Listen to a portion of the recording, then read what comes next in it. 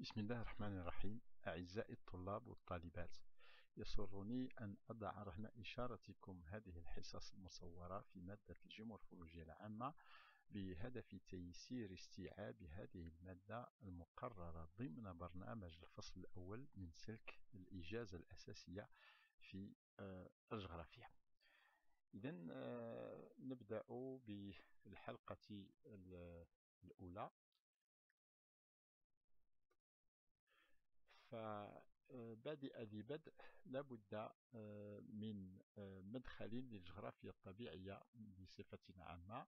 والجغرافيا الطبيعية آه، التي هي قسم من أقسام الجغرافيا حيث أن هناك جغرافيا بشرية وجغرافيا طبيعية.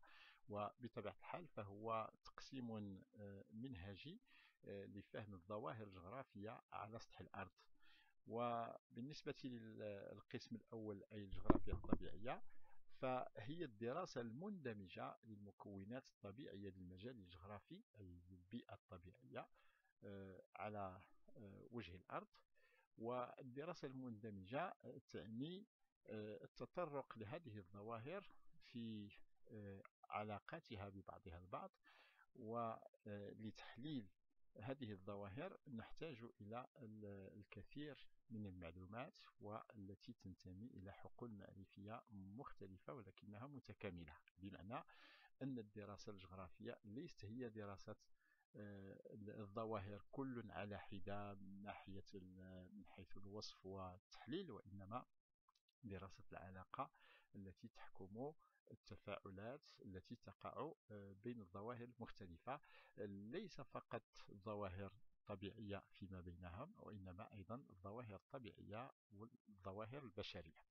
في الجغرافيا البشرية تعنى بالظواهر المرتبطة بأنشطة الإنسان في سطح الأرض بينما الظواهر الطبيعية فهي عادة تلك الظواهر التي تنشأ وتتطور ونجدها على سطح الأرض بمعزل عن الإنسان. وإن كان الإنسان في الوقت الحاضر آه، أصبح آه، فاعلا قويا يؤثر في هذه الظواهر الطبيعية كما يتأثر بها.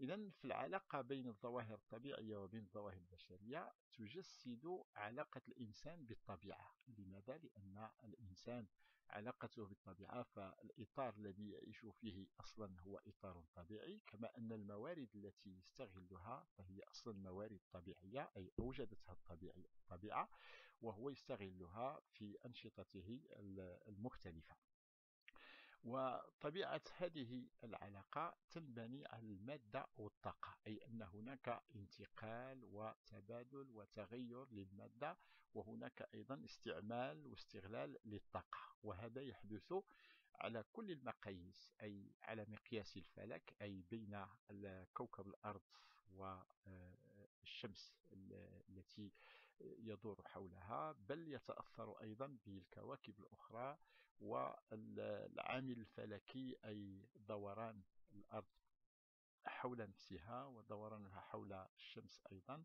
فهذا يعطينا الفصول بطبيعة الحال مما يغير من حصيلة الطاقة بل يغير أيضا من حصيلة المادة. فمثل ما يتعلق بالتساقطات ما يتعلق إذا بالماء وما يتعلق بالإنبات وغير ذلك مما يحتاجه الإنسان ويعتمد عليه في أنشطته وفي حياته بصفة عامة. إلا أن هذه العلاقة أي علاقة الإنسان بالطبيعة فهي علاقة ليست آه، ثابتة قارة وإنما أي مستقرة وإنما تتغير بحيث أن هناك آه، تطور عبر الزمان بل هناك أيضا تباين في المكان بمعنى أن هذه العلاقة لا يمكننا أن نتصور أنها ثابتة وإنما في تغير مستمر. فمثلا الإنسان آه، القديم عاش في بيئات تختلف عن البيئة الحالية التي نعيش فيها. فهناك تذبذب للمناخ أو للمناخات آه، بين عصور جليدية وأخرى بجليدية وهناك آه، فترات مطيرة وفترات جافة وكل هذا له تأثير قوي في حياة الإنسان وفي مدى وفرة موارده. وكذلك مع تطور وسائله ودراياته والتكنولوجيا التي يعتمد عليها. فمن الإنسان القديم إلى الإنسان المعاصر بطبيعة الحال فكل شيء عرف تطورا كبيرا ولا بد من رصد هذا التطور ليس فقط في الزمان وإنما أيضا في المكان أي من حيث التوطين والتوزيع. وهذه الظواهر المختلفة نلمس بطبيعة الحال ضرورة لتفسيرها وذلك من خلال فهم التفاعلات التي تحكمها أي لابد أن ندرك وأن نستوعب الآليات أي الميكانيزمات التي تشتغل بها هذه الظواهر التي تتحرك لأنها ظواهر حركة متحركة. أي فيها نوع من الحركية وهذه الحركية آه، تتم وفقا لعمليات وأساليب مختلفة وتتحكم فيها آه، عوامل أيضا مختلفة. فهنا آه، لفهم هذه الظواهر بطبيعة الحال فالجغرافيا مدعوة أو علم الجغرافيا مدعو للاستعانة بالكثير من العلوم الأخرى. وهذه الاستعانة تعني الاستفادة منها وليس القيام مقامها أو تكرار عملها أو آه، أو كما قد يقال سرقة نتائجها بل العلوم آه، كلها متكاملة فيما بينها والجغرافي إذا يحتاج إلى ثقافة واسعة ثقافة آه، أفقية تجعله يفهم الظواهر الطبيعية والظواهر البشرية. التي تنتمي بعض المعلومات التي يحتاج إليها إلى حقول معرفية مختلفة ولكن فهم الجغرافي واستيعابه لهذه الظواهر هو عملية مندمجة وشمولية. إذا تعتمد على المعلومات التي توفرها حقول معرفية آه، كثيرة. فأهداف الدراسة الجغرافية آه، هي علمية وعملية أي لتلبية آه، فضوله من الناحية العلمية نظريا وتطبيقيا. بطبيعة الحال لابد فكل العلوم تسعى إلى فهم آه، الظواهر المختلفة آه، فهما علميا. وكذلك آه، هناك جانب عملي للدراسة الجغرافية أي أنها تكون في خدمة المجتمع من خلال تخطيط وبرمجة التنمية ومعالجة الكثير من القضايا والمشاكل التي يعيشها مثل تدهور الأراضي والتصحر وكذلك التلوث ومواجهة المخاطر الطبيعية التي قد تنجم عنها كوارث. إذا فلا بد من معرفة ملابسات كل هذه الظواهر وفهمها لكي يحسن الإنسان من وضعه الاجتماعي والاقتصادي وبطبيعة الحال هذا في إطار ما يسمى بالتنمية أي التي تصبو إلى الرقي بالإنسان وتحسين مستوى عيشه. إذا فالجغرافيا الطبيعية نعود إليها. إذا فهي رؤية مندمجة للفضاء الطبيعي أي للبيئة الطبيعية أو الفيزيقية أو الفيزيائية. هكذا نسميها بال géographie physique. la géographie physique هي الجغرافيا الطبيعية. آه، إذا في المجال الجغرافي أي فوق سطح الأرض أي المجال أي إسباس أي المجال الترابي الذي آه، ندرسه. والذي هو آه، بطبيعة الحال هو مجال شاسع بمعنى أنه يشمل البحار والمحيطات بل قبل ذلك يشمل القارات لأن الإنسان يعيش فوق القارات بطبيعة الحال. فجل الظواهر التي يدرسها ويهتم بها والتي تعنيه مباشرة نجدها على سطح الأرض. إذا فالمكونات الطبيعية للمجال الجغرافي الذي يعيش فيه الإنسان والذي يدرسه بطبيعة الحال من زاوية جغرافية.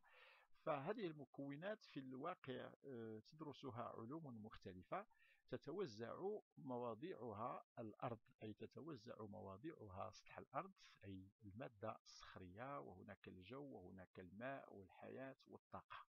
وهكذا آه، تصنف آه، هذه الظواهر ضمن ما يسمى بالأغلفة الأرضية أو الأغلفة المحيطة بالأرض. فنقول مثلا هناك غلاف صخري بمعنى أن الكرة الأرضية مكونة آه، أساسا آه، من الصخور في سطحها.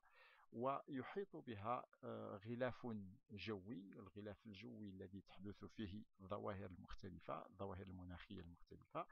آه، ثم الغلاف المائي أي كل ما هو ماء. ثم الغلاف آه، الحيوي. إذا فهذه مختلف الأغلفة التي يتفاعل فيها الإنسان والتي تتفاعل أيضا فيما بينها. وهكذا فنجد أن عددا من العلوم تنخرط في تحقيق هذه الرؤية المندمجة للمجال الطبيعي أي للظواهر الطبيعية للمجالات الترابية لسطح الأرض. فهناك أولا الجيومورفولوجيا والتي هي موضوع دراستنا وهي المادة التي إذا سنخصص لها هذه الحصص. فالجيومورفولوجيا تعني جيو أي أرض مورفو شكل ولوجيا علم أو معرفة أو دراسة. فهي دراسة أشكال سطح الأرض ودراسة أشكال سطح الأرض بطبيعة الحال آه، من حيث حركيتها ومن حيث آه، تباين آه، أشكالها. ثم هناك إذا فالجيومورفولوجيا إذا فتهتم بالغلاف الصخري. تهتم بكل ما هو صخري أي بالأرضية التي يقوم فيها الإنسان بكل أنشطته تقريبا فكلها على سطح الأرض. ثم هناك آه، علم آخر وهو علم المناخ وعلم المناخ آه، كما آه، ذكرت قبل قليل فهناك غلاف جوي يحيط بالكرة الأرضية أي مكون من مجموعة من الغازات. وضمن هذا الغلاف الجوي تحدث الظواهر المناخية وأحوال الطقس التي هي حالات دقيقة وآنية بينما آه، المناخ هو آه، خصائص آه، خصائص نستشفها من خلال ما نعيشه بل من خلال دراسة أحوال الطقس في ترددها وتوزيعها. وتوزيعها الزمني والمكاني. ثم هناك علم آخر وهو البيوجغرافيا البيوجغرافيا فهو علم يدرس ما يتضمنه الغلاف الحيوي. الغلاف الحيوي أي من الكائنات الحية النباتية والحيوانية آه، التي آه، نجدها في الأوساط آه، البيئية على اختلافها. إذا فأحيانا نسميها الجغرافيا الحيوية أو الجيوغرافيا وهناك أيضا علم آخر وهو علم التربة فهذا العلم في الحقيقة يقع بين آه، عدة علوم معرفية آه، فيدرس عملية التترب أي العملية التي بموجبها تنشأ التراب وتتطور. وفي امتداده جغرافية التراب أي الجغرافي يهتم أكثر ب دراسة التوزيع والتوطين الذي يخص التراب المختلفة على سطح الأرض على اختلاف باختلاف المجالات الترابية باختلاف النطاقات بطبيعة الحال النطاقات المناخية لأن عملية التطرب ينبغي أن نفهمها ولها علاقة بالمناخ وعلاقة أيضا بالصخر الأم أي الصخر الذي ينتج لنا هذه التراب. فالتراب ليست هي الصخور وإنما هي نتاج لتفاعل بين المادة الصخرية وبين عناصر المناخ المختلفة بانعكاساتها النباتية أيضا أي اندماج المادة العضوية آه، ضمن هذه المادة الصخرية لكي تتشكل لنا التربة وهذا ما يجعلها مختلفة عن الصخور التي لا نجد فيها مادة عضوية ولا نجد لها تطورا على سطح الأرض وإنما هي صخور عادة أو غالبا ما تكون صخور أصلية لها السياق الذي السياق الجيولوجي الذي تنشأ فيها. ثم هناك الهيدرولوجيا أو دراسة المياه فتعنى بدراسة دورة الموارد المائية السطحية منها والجوفية فاصطلح على تسمية غلاف غلاف آخر وهو الغلاف المائي أي كل ما يتعلق بالمياه ومواردها على سطح الأرض وتحت سطح الأرض. إذا فبطبيعة الحال لها توزيع جغرافي ولها آه، توطين أيضا. ثم آه، أخيرا نجد علم آخر وهو علم البحار والمحيطات.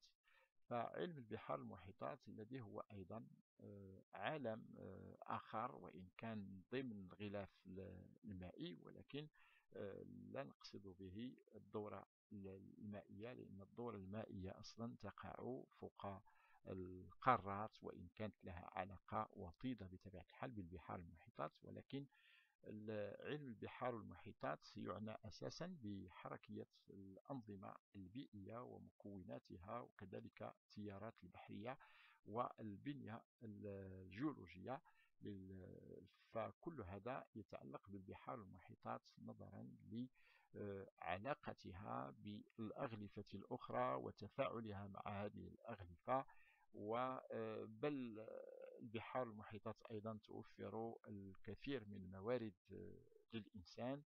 فهناك موارد ليست فقط موارد حيوية مثل الأسماك وكل المنتجات العضوية البحرية بل هناك أيضا دراسات التي تتجه أو التي توجه البحث والتنقيب عن النفط والغاز أيضا وما إلى ذلك. بل هناك أيضا اهتمام آخر آه، على مستوى ما قد يصدر عن هذه البحار والمحيطات آه، من آه، مخاطر أو ما تشكله من مخاطر بسبب الكوارث التي قد تتسبب فيها. ونعلم أن هناك المد البحري وهناك أيضا ارتفاع مستوى سطح البحار والمحيطات وهناك أيضا الأمواج العاتية من تسونامي والأمواج الأخرى التي قد لا ترتبط بالبنية الجيولوجية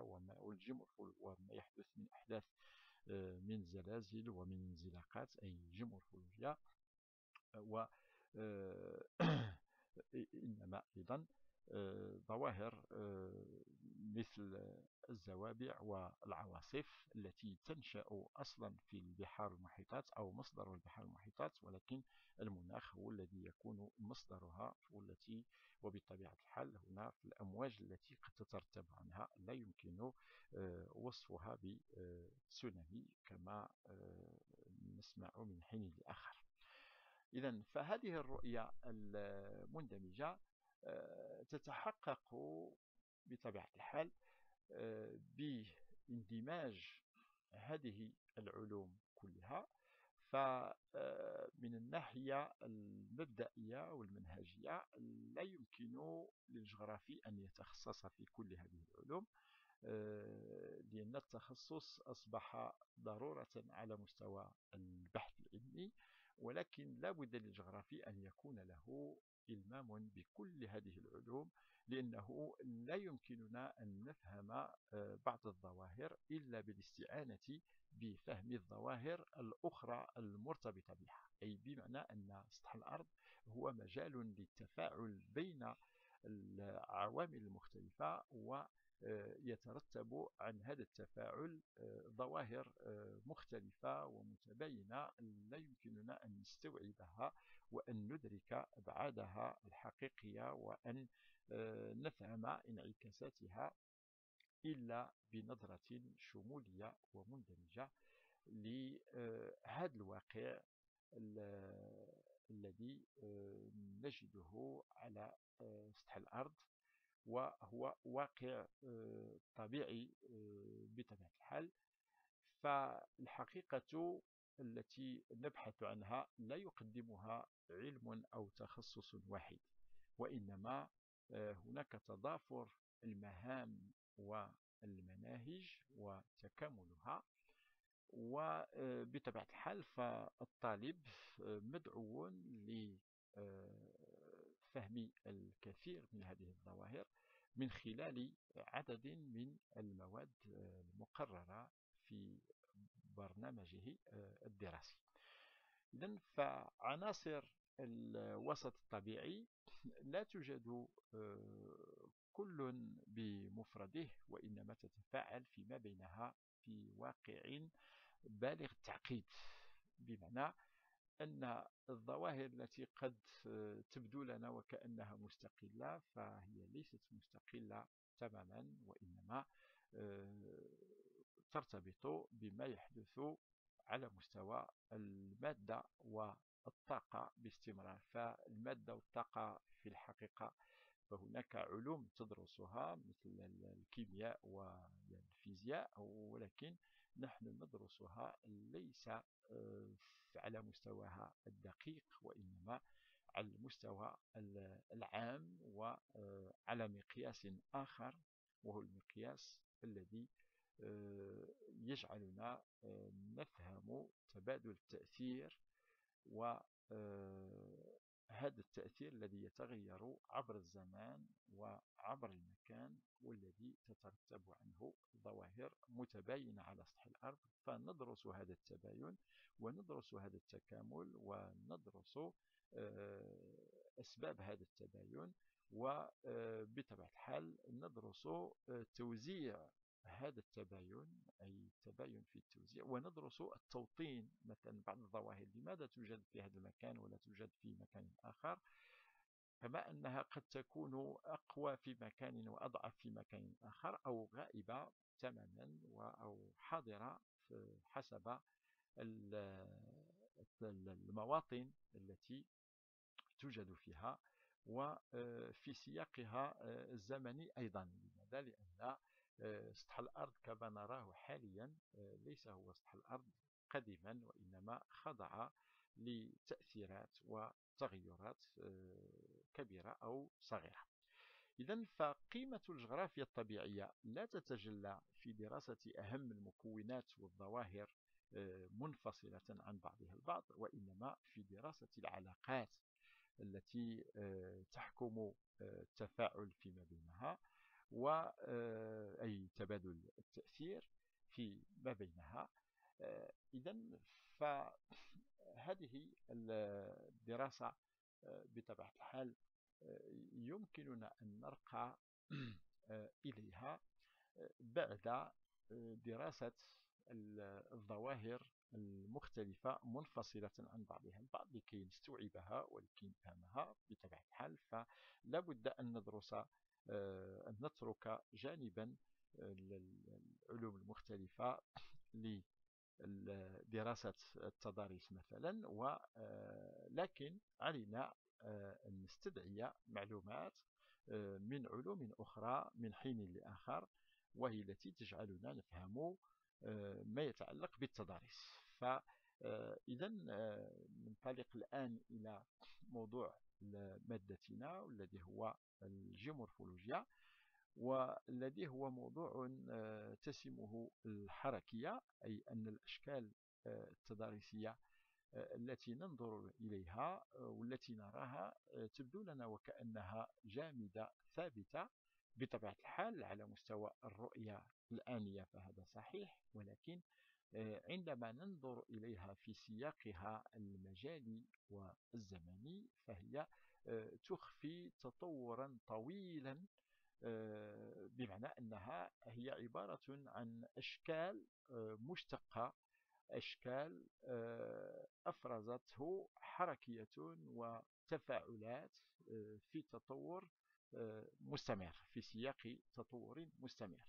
بمعنى أن الأشكال التضاريسية التي نشاهدها حاليا على سطح الأرض فليست ثابتة لا تتغير فربما لا تتغير على مستوى الرؤية الآنية كما قلت أو على المدى الزمني القصير ولكن من حين لآخر نشاهد فيها بعض الأمور. فمثلا آه، عندما يحدث امتطاح أي ارتفاع مستوى آه، الماء في المجاري المائية فيؤدي إلى آه، قد يؤدي إلى إزالة بعض الصخور في طريقه أي الجريان المائي يزيل بعض الصخور وينقلها ويرصبها بمعنى أنه يغير سطح الأرض.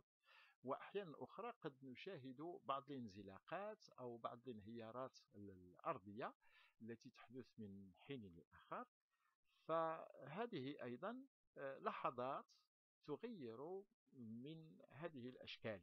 وإذا آه، نظرنا إلى هذه الأشكال في بعدها الزمني الطويل فسنستنتج أنها أشكال ناتجة عن تطور طويل بل هناك أيضا آه، عمليات بطيئة جيولوجية حركات آه، رفع وخفض وتقلص وتمدد بل هناك أيضا عمليات آنية سريعة مثل الزلازل وكذلك البراكين والتي تغير باستمرار من واقع هذه الأشكال الأرضية. فهكذا ما نشاهده في هذه الأشكال التضاريسية. فنجد ضمنه ما هو موروث ساكن أي ما يجسد آه، وضعا ناتجا عن آه، تطور طويل وهناك ما هو ناشئ نشط أي ما نلاحظه حاليا آه، وهو يعرف آه، حركية ونشاط في آه، تطور مستمر لتعديل شكله الأصلي. إذا هذا ما يتعلق بالتضاريس إذا فهكذا نصنف إذا الأبعاد الزمنية لنشأة التضاريس وتطورها آه، نصنفها إلى مظاهر تدريجية بطيئة أي أنها تحتاج إلى آه، وقت زمني آه، طويل لكي تنشأ وتتطور إلى جانب مظاهر أخرى تكون فجائية سريعة وهي التي تحدثت عنها قبل قليل. إذا فسوف نفصل في هذا ضمن هذه هذا المقرر بطبيعة الحال فيما سيلي من جوانب سوف نتطرق إليها. وقبل ذلك فبالنسبة للأهداف والمناهج التي نعتمدها في دراسة التضاريس فهناك أولا التمييز أي علينا أن ندرك ما يميز الأشكال عن بعضها آه، البعض؟ أي هناك تباينات هناك اختلافات. إذا علينا أن ندرك هذا التباين وهذا الاختلاف مما يطرح لنا تساؤلات بشأن آه، أسباب هذا التباين وهذا الاختلاف. وبطبيعة آه، الحال نعتمد في ذلك على توصيف دقيق توصيف دقيق لهذه الأشكال حتى ندرك الجوانب التي تجعلها تختلف عن بعضها البعض وبناء على هذه التوصيفات وهذا التمييز نصنف أي نصنف الأشكال إلى مجموعات إلى أشكال آه، لماذا؟ لأن كل شكل له آه، تفسيراته الخاصة آه، بطبيعة الحال والهدف من هذا التصنيف البحث عن تفسير وتأويل وفهم وهذا أيضا آه، يتيسر لنا من خلال المقارنة وبطبيعة الحال باعتماد باعتماد آه، دراسة العوامل المختلفة التي تكمن وراء آه، هذا التباين وهذا التفسير بطبيعة الحال. إذا فالأشكال التضاريسية تنتج عن آه، تفاعل أو تفاعلات بين آه، عوامل آه، متعددة في الحقيقة وهذه العوامل منها ما هو باطني أي ما يرتبط بباطن الأرض وما يحدث فيه من حركية وما حدث فيه من حركية أي بصيغة الماضي وصيغة الحاضر وأخرى أيضا عوامل أخرى خارجية أي ترتبط بما يحدث خارج سطح الأرض من ظواهر وعمليات أي لا ترتبط بما يحدث في باطن الأرض وإنما بما يحدث خارجها أي ضمن الأغلفة المحيطة بالغلاف الصخري من غلاف جوي وغلاف مائي بل وغلاف حيوي أيضا. وكل هذا يحدث في سياق زمني طويل ومتغير بمعنى أن الظواهر لا تنشأ بين عشية وضحاها فكما قلت هناك ظواهر سريعية سريعة فجائية مباغتة وهناك ظواهر تحتاج إلى آه، فترات زمنية طويلة لكي آه، تنشأ. فهناك المعطيات الوصفية أي لتوصيف الأشكال لا بد من وصفها أي نميز ونقارن ونصنف.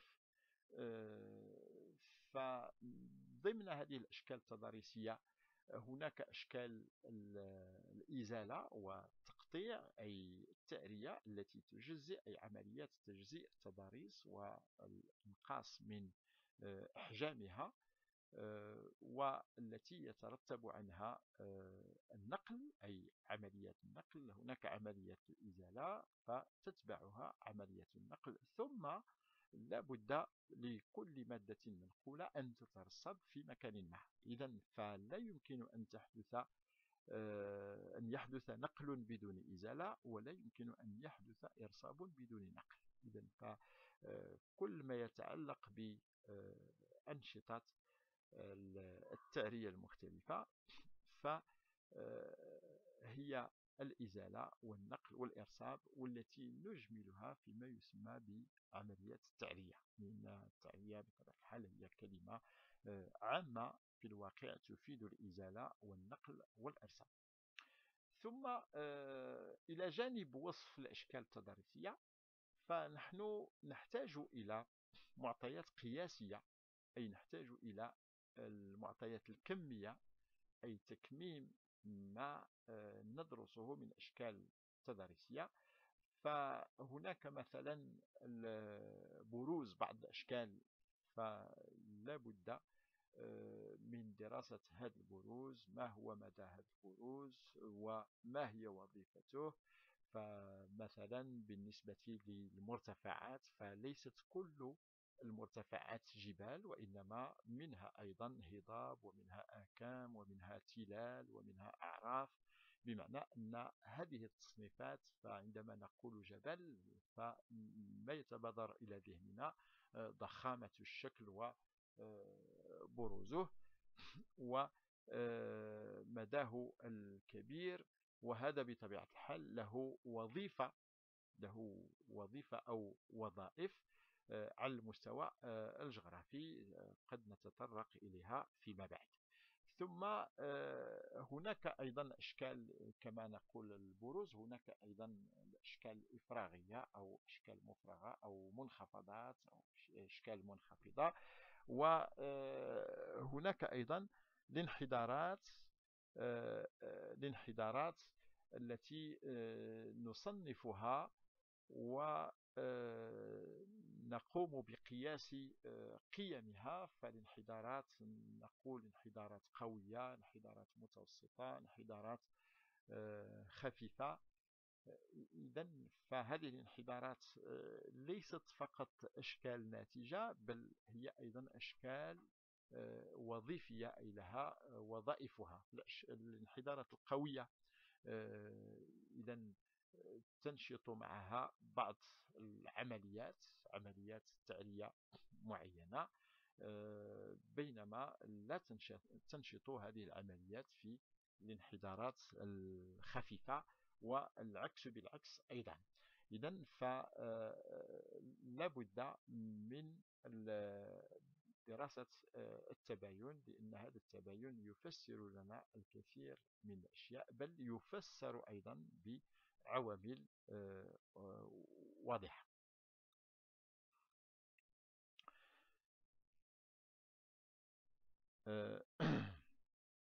إذا ف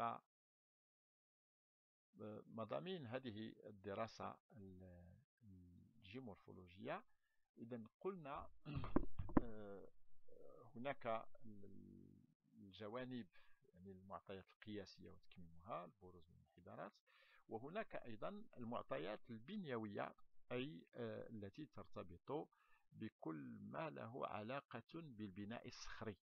بالبناء الصخري من حيث الكتل الكتل الصخرية وطبقات. إن الصخور هناك صخور نجدها في هيئة كتل وأخرى في شكل طبقات.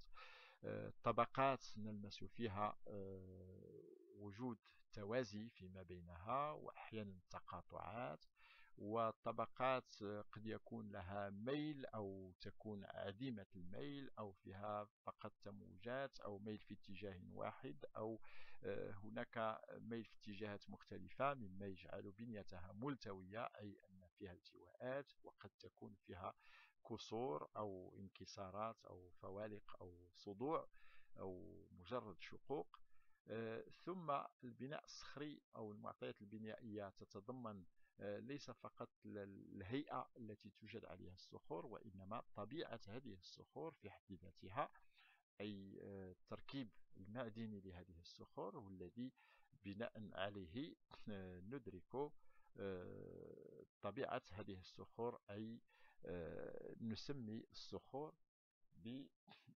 نسمي الصخور إذا بمسميات طبقا لطبيعة المعادن التي تتركب منها.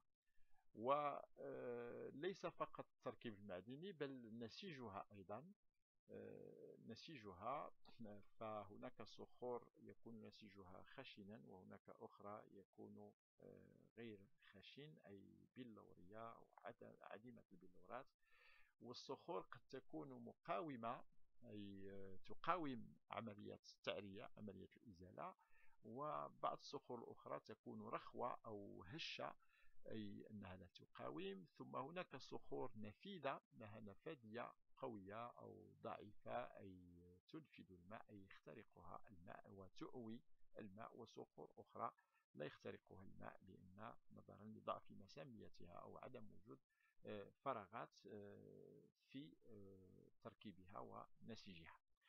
وما يهمنا من هذا ليس فقط معطيات التشكال البنيوية أي البنية الصخرية كل ما يتعلق بالصخور فهذه بطبيعة الحال معلومات نستقيها من الدراسة الجيولوجية.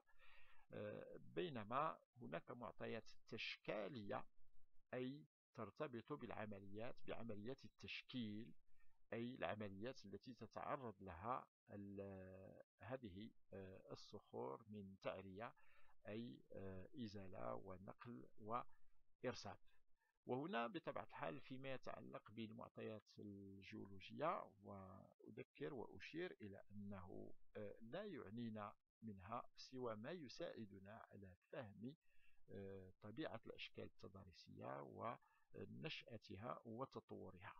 فلا ينبغي أن ننساق إلى دراسة دقيقة ومفصلة للتراكيب المعدنية ولأنواع الصخور والبنية وما إلى ذلك لأن هذا بطبيعة الحال يفيد الدارسين طلاب وباحثين في مجال الجيولوجيا بينما نحن لن نأخذ منها إلا ما يفيدنا في فهم الأشكال التضاريسية. فضمن هذه المعطيات التشكالية أي عمليات الإزالة والنقل والإرساب فهناك تشكيلات أي أشكال تفصيلية ناتجة عن عملية الحت أي عملية الإزالة الذي نسميه الحت أيضا حتى يحت الحت بالتاء ماشي بالثاء. فكذلك هناك إلى جانب عملية الإزالة هناك عمليات الإرصاد أو آه، أشكال ناتجة عن عملية الإرصاد وهي أشكال الردم والتراكم.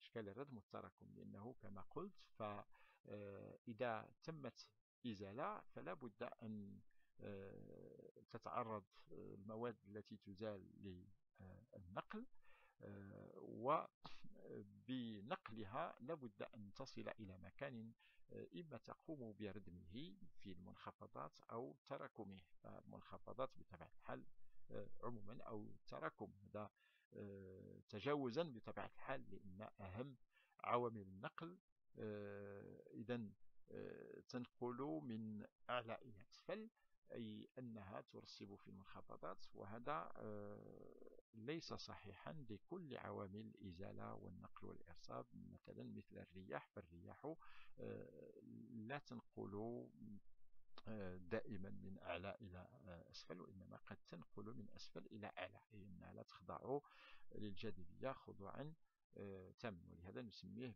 بالردم والتراكم ونقول الإزالة دون أن نجزم بأن الإزالة تتم في المرتفعات والإرسال يتم في المنخفضات. فهذا بصفة عامة ولا سيما بالنسبة للجريان المائي. صحيح ولكن ليس صحيحا في كل الحالات بالنسبة للرياح. ثم إلى جانب المعطيات البنيوية التي آه، تخص الأشكال التضاريسية وكذلك إلى جانب المعطيات التشكالية التي تخص العمليات التي تخضع لها الأشكال التضاريسية في نشأتها وتطورها. هناك المعطيات الزمنية أي هناك آه، أي أننا نبحث آه، عن الانتماء الزمني وندرس تسلسله آه، فيما يخص الأشكال التضاريسية لماذا؟ لأن هناك ارتباط لهذا التسلسل وارتباط لكل هذه العمليات ولكل هذه الخصائص خصائص البنيوية والخصائص التشكيلية. له ارتباط بالخصائص الجغرافية القديمة والحالية. بمعنى أن الأشكال آه، الموروثة فهي ترتبط بخصائص جغرافية قديمة بينما آه، الأشكال الحالية أي النشطة حاليا فترتبط بالخصائص الجغرافية الحالية. والتمييز بين النشيط وبين الموروث هنا آه، هو آه، تمييز بين ما هو متوازن ومستقر أي أي حقق استقراره أي لم يعد نشطا حاليا ولا سيما على مستوى البنية. وبين ما هو نشيط الذي يعكس لنا وجود اختلال ووجود تدهور أي وجود تطور مستمر. فهذا آه، بطبيعة الحال آه، جانب من الجوانب المعقدة لدراسة التضاريس ولكن سوف آه، نبسط كل ما يتعلق بذلك بطبيعة الحال لأننا في مستوى أولي أي في دراسة أولية للتضاريس ولسنا في حاجة إلى التطرق آه، للجوانب المعقدة والتي تحتاج بطبيعة الحال آه، إلى آه، مجهودات إضافية ليست موضوعنا الآن ولا سيما في هذا المستوى أي مستوى الفصل الأول إذا ف إذا نتطرق الآن إلى الجيودينامية الباطنية وتكوين الكتل التضاريسية فهذا بطبيعة الحال آه، لماذا؟ لأن العوامل الباطنية آه، لها دور رئيس آه، في نشأة الكتل التضاريسية الكبرى وبروزها على سطح الأرض بواسطة الحركات البنائية أي الحركات التكتونية آه، وليست وحدها الأشكال البارزة هي التي ترتبط بهذه الحركات وإنما الأشكال المنخفضة أيضا الأشكال المخفوضة. التي آه، هي أيضا ترتبط بهذه الحركات التكتونية الحركات البنائية. في البناء لا يعني آه، يعني البروز فقط ما يتعلق بالبروز وإنما ما يتعلق بالخفض أيضا. فالبحار والمحيطات تارة تغمر أجزاء من القارات وتارة تتراجع. إذا أحيانا تتراجع وأحيانا تغمر. ثم الكتل التضاريسية فتارة آه، تتعرض لحركات الرفع وتارة أخرى تتعرض لحركات الخفض. إذا فهذه الحركات البنائية التكتونية هي التي ترفع أجزاء من القشرة الأرضية وتخفض أجزاء أخرى منها. وتعمل هذه الحركات في الاتجاهين أي رأسيا وأفقيا. فهناك حركات رأسية ترفع وتخفض وهناك حركات أفقية تمدد وتقلص. وإذا كانت الحركة الرأسية تعمل على الرفع والخفض إذا الكسر فإن الحركات الأفقية تسهم في ذلك أيضا بالتمدد والتقلص بالإضافة إلى ما تنجزه من طي ولي وزحف من خلال حركية الصفائح. إذا فمثلا الحركات الحركات الأفقية تؤدي إلى تقليص المدى الذي آه، تمتد فيه طبقات صخرية وهذا التقليص سيؤدي إلى التوائها بطبيعة الحال أي أنها آه، تصبح ذات بنية آه، ملتوية أي منكمشة أي تتكمش وهذا الانكماش سيؤدي إلى ظهور بنية صخرية ملتوية بنية جيولوجية ملتوية. وأحيانا أخرى أيضا نجد حركة رفع ترفع في جزء وتخفض في جزء آخر مما يؤدي إلى إمالة الطبقات آه، الصخرية. وحالات أخرى آه، نجد أن هذه الحركات آه، تؤدي إلى إحداث صدوع فوالق انكسارات في الصخور.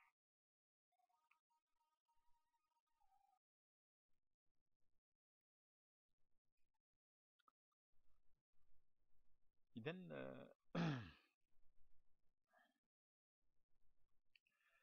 ننتقل الآن إلى آه، دراسة الجوانب الباطنية للأشكال التضاريسية ولفهم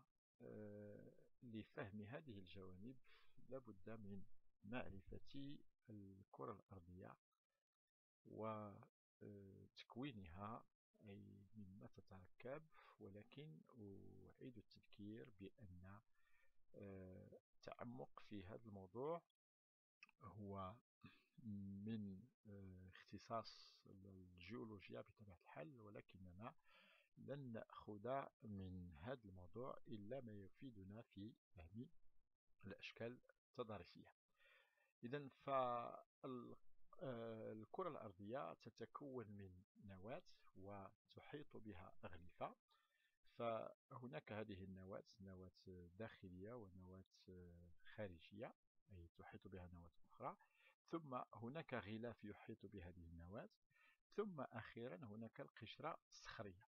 فما يعنينا من كل هذا هو هذا الجزء فقط أي السمك الضعيف.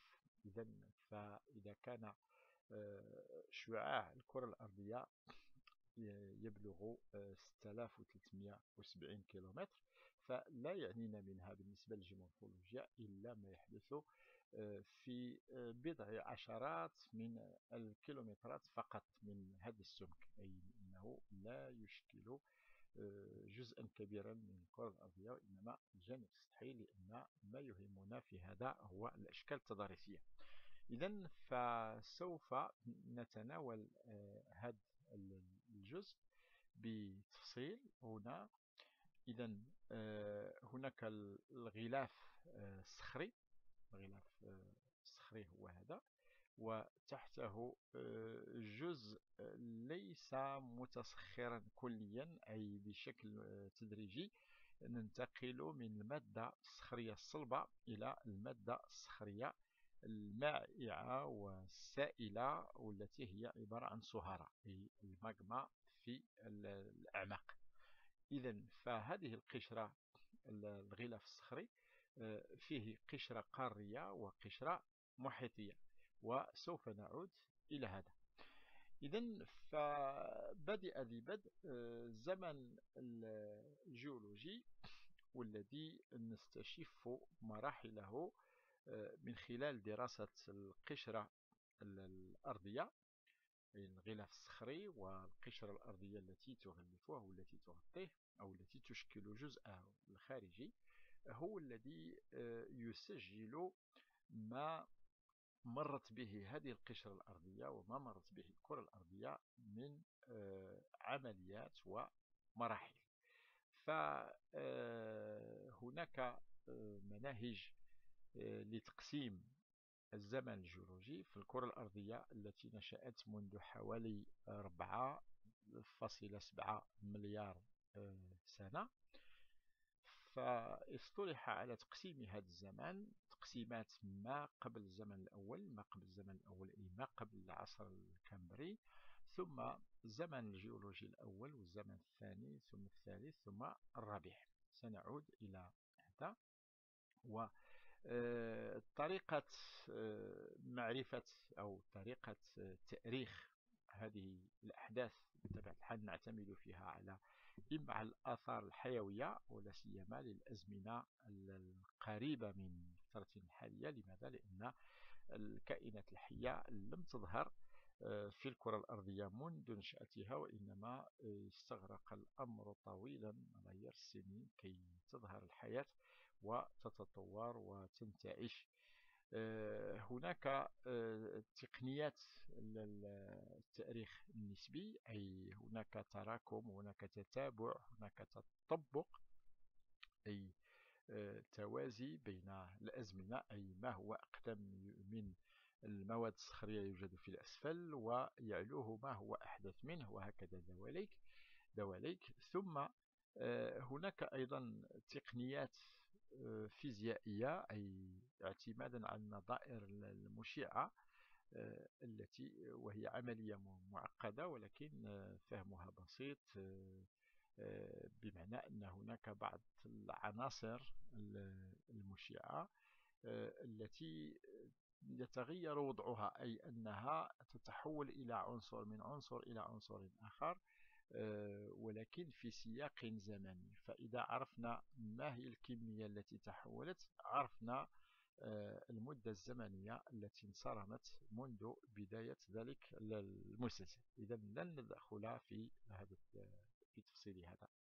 إذا فننطلق مباشرة إلى تركيب القشرة الأرضية قبل أن نعود نعود إلى بعض مما يهمنا آه، في موضوعنا.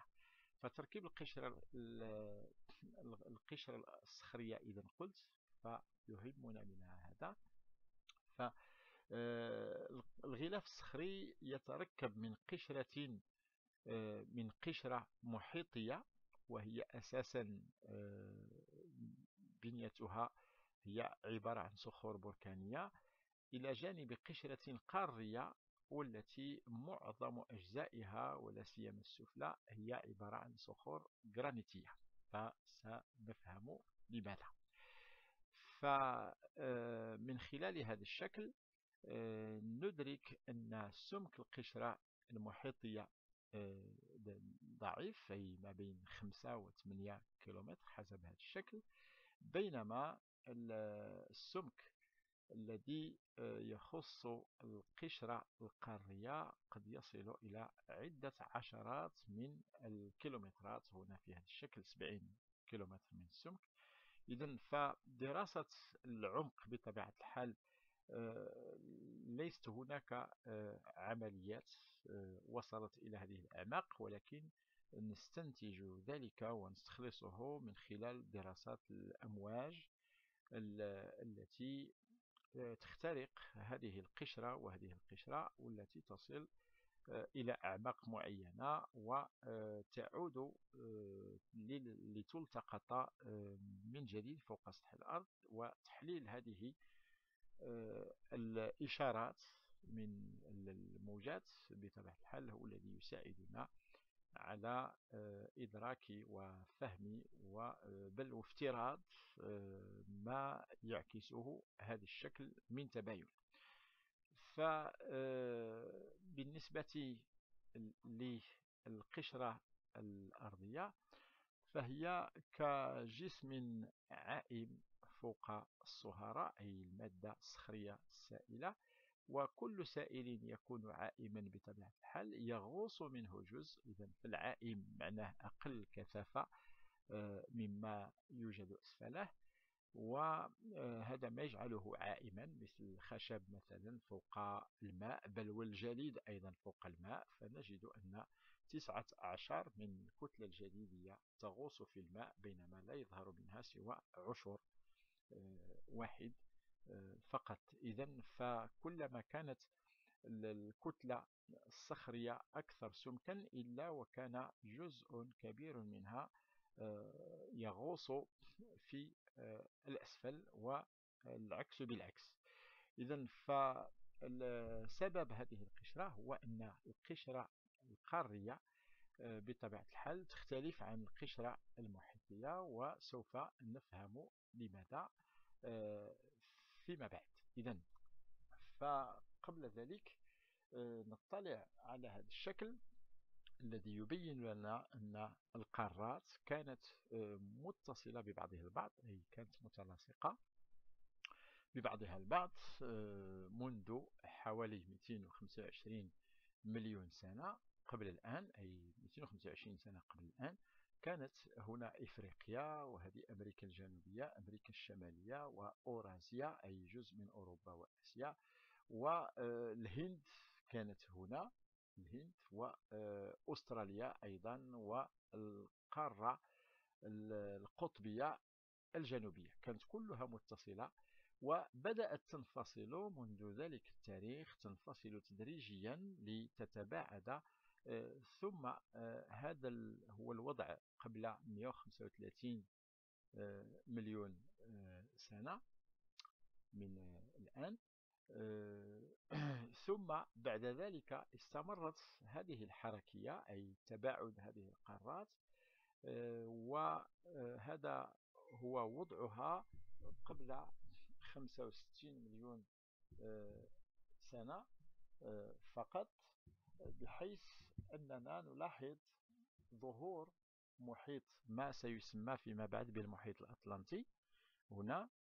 آه، ثم آه، سنلاحظ أن شبه القارة الهندية الذي كانت الذي كان هنا سوف يستمر في الصعود نحو الشمال. إذا هكذا تحركت من من الجنوب حيث كانت في شرق إفريقيا جنوب شرق إفريقيا. ثم تحركت بعد ذلك نحو الشمال في اتجاه القارة الأسيوية لكي تتصل بها تصطدم بها فيما بعد أي كما نشاهد ذلك حاليا. إذا فنلاحظ أيضا أن هذا المحيط الأطلنطي اتسع تدريجيا لم يكن موجودا في هذه الفترة أي قبل 225 مليون سنة وهو عصر ال Trias أي العصر الأول من الزمن الجيولوجي الثاني. وبدأ يتسع تدريجيا إلى أن انفصلت إلى أن انفصلت القارة الأمريكية شمالها وجنوبها كليا عن إفريقيا وعن أوروبا في الوقت الحاضر. فهنا نلاحظ جزيرة أو قارة غرينلندا والقارة القطبية الجنوبية أي الأنتاركتيك منفصلة تماما عن إفريقيا وعن أمريكا الجنوبية وعن أستراليا. إذا هنا كانت أستراليا هنا أمريكا الجنوبية وإفريقيا. إذا هذا الواقع بطبيعة الحال نتج عن حركية على مستوى القشرة الأرضية. هذه الحركية أي أن هناك تباعد للقارات ولكن تباعد للقارات ف آه، آه، ناتج عنه أيضا تقارب بل واصطدام بين بعض القارات بمعنى أن الكرة الأرضية القشرة الأرضية مقسمة إلى مجموعة من الصفائح مجموعة من الصفائح. هذه الصفائح إذا آه، تتقارب في بعض الأماكن وتتباعد في أماكن أخرى. كما آه، سنشاهد في هذه اللوحة. ففي هذه اللوحة نلاحظ أن آه، هناك ليس فقط تقارب بل اصطدامات. اصطدامات. هنا مثلا أمريكا الشمالية أمريكا الجنوبية. هناك هذه الصفيحة نازكا تتجه نحو الشرق لتصطدم بالقارة الأمريكية الجنوبية. آه، ثم آه، في مقابل ذلك نجد تباعد هنا المحيط الأطلنطي انفتح بموجب التباعد الذي حدث بين القارات وهناك تقارب بين إفريقيا وأوروبا مما أدى إلى اصطدام. فهذا الاصطدام حتى وإن كان البحر المتوسط لا زال موجودا بينهما الاصطدام مستمر. لماذا؟ لأن هناك صفيحة في قعر هذا المحيط الأقل في جزء الغربي وهذه الصفيحة بطبيعة الحال هي التي تشكل عمق أو الأرضيات البحر المتوسط وتغوص تحت إفريقيا جنوبا وتغوص تحت أوروبا شمالا. إذا آه، ثم إذا سنعود آه، إلى هذا الموضوع. وهناك بعض الأماكن حيث نجد انخلاعا أي أن الحركة أفقية جانبية وليس اصطدام وإنما انقسام وانفصام بحيث أن أن صفيحة تتجه في اتجاه معاكس لصفيحة أخرى مجاورة ويحدث هذا الانفصام آه، على مستوى انكسار قوي. إذا فهذا الشكل الذي يجسد ما حدث للمحيط الأطلنطي آه، مثلا سوف آه، نعود إليه بعد قليل. إذا فالقشرة الأرضية أو الأرض الكرة الأرضية تتكون إذا من نواة تحيط بها أغلفة يشكل من بينها الغلاف الصخري أهمها بالنسبة للأشكال التضاريسية كما قلت. أي أن الأشكال التضاريسية آه، تظهر وتتطور في القشرة الصخرية أي في الغلاف الصخري أي في جزء العلوي وليس في عمقه لأن العمق بطبيعة الحال فيه صخور آه، تنصهر منصهرة أو تنصهر عندما تغوص إلى مستوى آه، من العمق بحكم ارتفاع درجة الحرارة. إذا فالغلاف الصخري يتكون من قشرة قارية. أساس أساسها أو قاعدتها تتكون من صخر الجرانيت. إلى جانب قشرة محيطية أساسها أي الأساس المكون لها أي أرضيتها مكونة من البازلت أي من صخر بركاني بينما الصخر الجرانيتي هو صخر ناري أيضا مثل الصخر البركاني ولكنه الجرانيت يتشكل داخل القشرة الأرضية أي أن آه، الصهارة تتصلب آه، في آه، جوف الغلاف الصخري المتصلب لأنها لا تصل إلى السطح. عندما لا تصل إلى السطح هذه الماجما لا تصل إلى السطح إذا فتتصلب وتتعرض للتبريد في داخل جوف الأرض.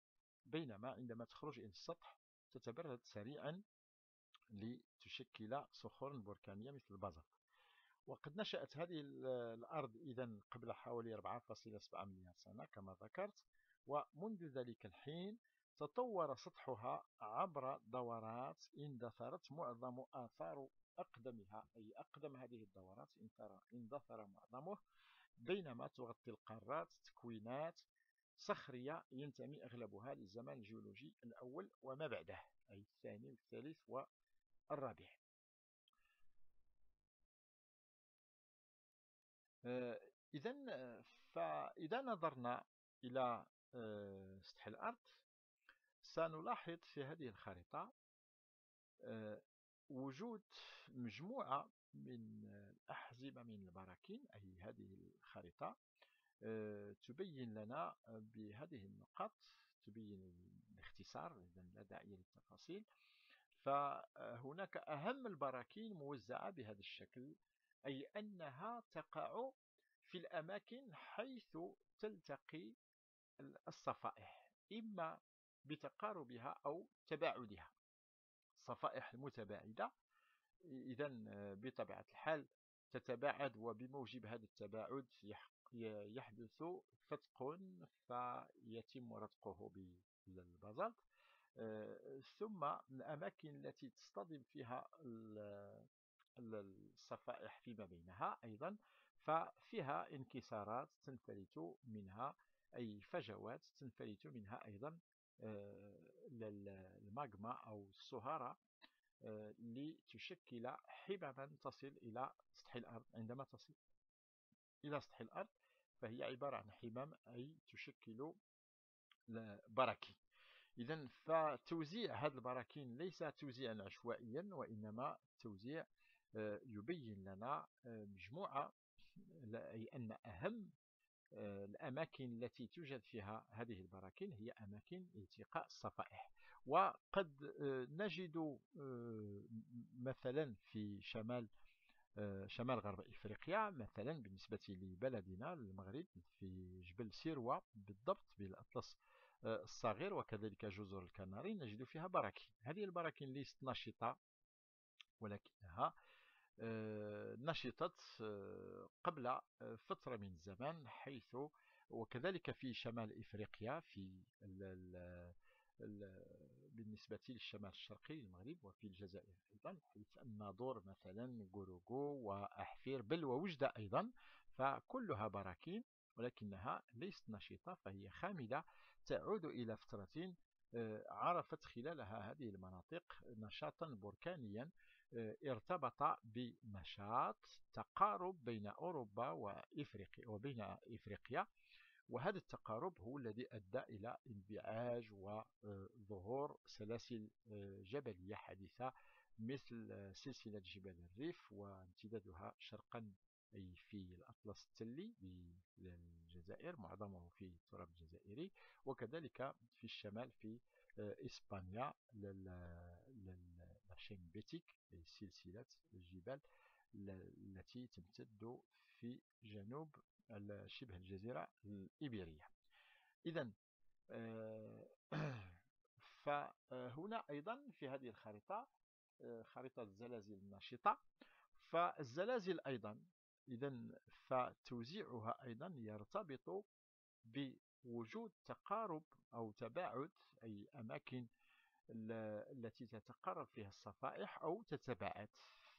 فهنا مثلا في وسط المحيط الأطلنطي نجد أن هناك أخدود آه، بموجب وجوده آه، تتباعد القارات شرقا إفريقيا وأوروبا وغربا أمريكا الشمالية وأمريكا الجنوبية ويمكن أن نتساءل عما يحدث في بلدنا أو في شمال إفريقيا عموما أو جنوب أوروبا بطبيعة الحال لماذا؟ لأن هناك تقارب و أو تباعد هنا وتقارب هنا وهناك أيضا تباعد أو تقارب أي كلما كان هناك اصطدام أو اتصال بين آه، الصفائح إلا وكان هذا المكان مكان الاتصال معرض للزلازل بل والبراكين أيضا. إذا فهذه آه، مؤشرات آه، ليس فقط على وجود حدود لهذه الصفائح وإنما مؤشرات أيضا لوجود حركية نشيطة آه، بالنسبة على مستوى هذه الصفائح وما يؤدي بذلك إلى حركية مستمرة. وهذه الحركية المستمرة إذا ما آه، قمنا بجمع ما حدث خلال فترات زمنية قديمة سنلاحظ أن هذه الحركة آه، كما مثل ما أدى التباعد إلى ظهور محيط بين قارات فأدى التقارب بل إلى اصطدام بين القارات. هذا الاصطدام أدى إلى بروز آه، أجزاء منها ولا سيما منها ما أشرت إليه قبل قليل من أن شبه القارة الهندية باصطدامها بقدومها من جنوب شرق إفريقيا منطقة ديال مدغشقر صعودها نحو الشمال آه، لتصطدم بالقارة الآسيوية أدى ذلك إلى بروز أضخم بل آه، أعلى آه، كتلة جبلية أعلى كتلة جبلية فوق سطح الأرض وهي سلسلة جبال الهيمالايا حيث يوجد توجد قمة له قمة إيفرست التي تتجاوز 8800 آه، متر من الارتفاع على مستوى سطح البحر. إذا وهذا حدث حديثا فقط وليس قديما بمعنى أن آه، قوة التضاريس وبروزها لا يرتبط آه، فقط بالمدة الزمنية بل أكثر من ذلك يرتبط بمدى قوة العوامل التي أدت إلى هذا البروز وهنا نسجل آه، ليس قدم هذه الحركية التي أدت إلى بروز جبال الهيمالايا وإنما إلى قوة الحركية التي أدت إلى بروزها في آه، ظرف زمني وجيز نسبيا أي على المستوى الجيولوجي أنه بضع عشرات من ملايين السنين فقط بينما نجد بعض الأماكن مستقرة منذ مئات ملايين السنين لم تعرف لا ارتفاعا ولا التواء ولا أي حركة تذكر. إذا كما سنرى وهي تسمى بالدروع أي أنها ثابتة قارة ليست فيها حركية قوية. إذا هذه الصفائح الآن سوف نأخذ هذا المثال. نأخذ جزء من ذلك الأخدود الذي نجده في قاع المحيط الأطلنطي. بين إفريقيا وأمريكا سواء أخذنا في هذا المكان أو في هذا المكان أي جنوبا أو في الوسط أو في الشمال فكلاها أمثلة واحدة أي أنها تجسد لنا تباعد بين جزئين. وهذا التباعد هنا نلمس هذا التباعد هو تدريجي بطبيعة الحال أي خلال المرحلة الأولى هناك تشقق وهناك نزعة نحو التباعد ثم مرحلة اتساع. هذا ظهور إذا لم يكن هناك بحر وإنما ظهر هذا البحر بطبيعة الحال بمعنى أن ظهور هذا المنخفض نتيجة لهذه الانكسارات وهذا الخفض وهذا التباعد سيؤدي بالماء إلى اقتحام هذه الأماكن المنخفضة وملئها لتصبح بحرا ويتسع تدريجيا ليصبح محيطا وهكذا ولا زالت هذه الذروة المحيطية لا زالت موجودة إذا في هذا القاع. إذا سوف نلاحظ هذا بتفصيل هنا. إذا فبموجب حدوث الفتق أي ظهور فراغ هذا الفراغ بطبيعة الحال لن يكون فراغا لأنه لا يمكن أن يكون البحر في عمق. إذا ليس البحر لأن تكون هناك صهورة صهارة أي مادة صخرية سائلة في العمق ولا تندفع. لماذا؟ لأن هناك ضغط قوي لوزن القارات سيؤدي بطبيعة الحال إلى انبثاق هذه الماغما في شكل براكين لتقوم برتق أي فتق يظهر. إذا أي يحدث انسداد.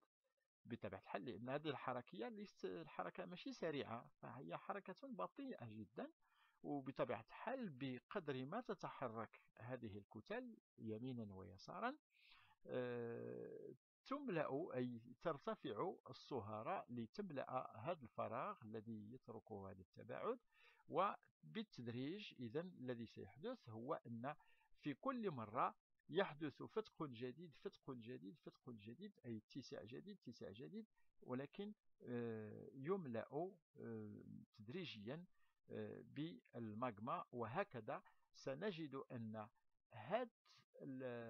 هذه الصهارة التي أصبحت عبارة عن صخر بركاني كهذه وهذه يمينا وهذه يسارا كانتا في هذا المكان. أي أن البداية هي هذه إذا هذه الصهارة اللي أعطتنا هذا الصخر البركاني ستنقسم إلى قسمين. قسم يمتد نحو الشرق وقسم آخر نحو الغرب ثم يملأ ما بينهما بالمغما بالصهارة ثم يحدث شق جديد ثم تتحرك وهكذا. هذا التحرك سيؤدي إلى آه، تطور آه، مفاده آه، أن, أن هذه القشرة التي تنشأ وهي قشرة بازلتية ناتجة عن هذه الصهار الصاعدة سوف آه، تمتد يمينا ويسارا لكي تشكل قعر محيط بأكمله. إذا فهذا القعر بأكمله تشكل بهذا الفعل أي نتيجة لهذا التباعد آه، وما يرافقه من صعود آه، مرحلي وتدريجي ومستمر لهذه آه، الصهارة التي ستعطينا صخورا بركانية. بطبيعة الحال حتى تحت البحار والمحيطات نجد البراكين نشطة أي أن وجود ماء البحر لا يقوم بإخماد البراكين بل هناك آه، أضخم البراكين فهي براكين توجد في البحار والمحيطات مثل جزر هاواي جزر هاواي التي آه، نجد أن آه، عمقها وعلوها أي عمقها تحت سطح البحر وعلوها آه، فوق سطح البحر يضاهي العلو والارتفاع النسبي لجبال الهيمالايا وهي تنطلق من قعر المحيط الهادئ من قعر المحيط الهادئ لتشكل تضاريس ولا زالت نشطة البراكين نشطة آه، نجد وهكذا تظهر جزر إذا بعض الجزر البركانية تظهر آه، فجأة في هذه مثل هذه الأماكن وبعضها سرعان ما يختفي تحت الغمر أو تحت الخفض التدريجي لها والغمر البحري والبعض الآخر يستمر بطبيعة الحال آه، بل يصبح جزيرة قد تكون مأهولة. إذا فهكذا آه، يحدث هذا التطور التدريجي وهذا هو السبب في كون القشرة القارية عفوا القشرة المحيطية بازلتية. بينما القشرة القارية هي آه، عكس ذلك أي أن أماكن التقاء الصفائح هنا مثلا في غرب أمريكا الجنوبية. هناك صفيحة تشكل قعر جزء من قعر المحيط الهادئ لأنها لا تبرز فوق السطح وإنما تحت الماء تغوص تحت القارة الأمريكية الجنوبية. في هذا المثال هو الذي سنراه. إذا فهناك حركة هذه الحركة أي هناك تقلص هذه الكتل إذا هنا غنشوفوا جزء فقط من آه، الصفيحة اللي موجودة. إذا هذا مثال يجسد فقط لأن هنا كاين قارة بينما في المثال ديال آه، هنا آه، ما عندناش يعني ما عندناش قارة هنا. القارة بعيدة يعني حتى لأستراليا. إذا حنا ناخذ فقط هذا الجزء يعني نقطعه هنا ولكن الشكل كيعطينا هذا أي أننا غناخذ فقط من هنا لهنا.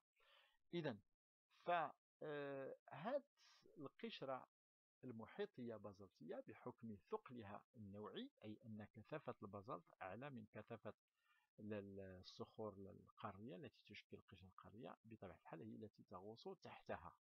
وعندما تغوص تحتها يحدث تقلص.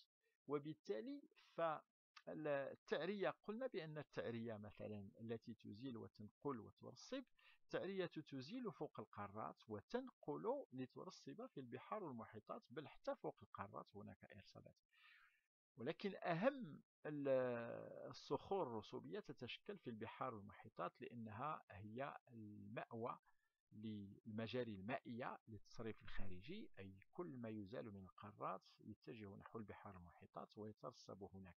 إذا في هذا الجزء هناك إرصابات تأتي من هذه القارة وفي هذا الجزء إرصابات تأتي من هذه القارة.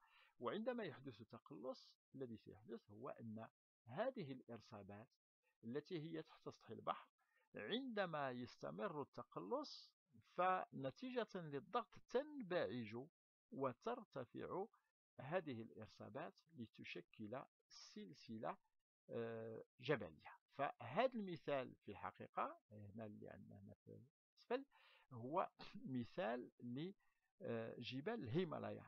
أي أن شبه القارة الهندية التي كانت جزيرة قدمت من الجنوب اصطدمت بآسيا وبين آه، آه، بينهما كان بينهما كان بحر ولكن عندما وصلت إذا عندما وصلت إلى هذا المكان بطبيعة الحال آه، سوف آه، ينحصر البحر أمام انبعاج وأمام ارتفاع هذه الرواسب التي تشكل آه، سلسلة جبلية mont إيفرست. أي جبل إيفرست أعلى قمة في الهيمالايا وهكذا.